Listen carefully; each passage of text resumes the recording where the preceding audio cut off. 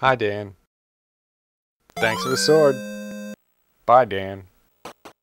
Hi, I'm Mr. Epiphany. I had an idea the other day. What if I could combine speedruns of those classic games like Zelda, Metroid, and Contra with the maps that came from those old player's guides? Overlay things so that you can see both at the same time.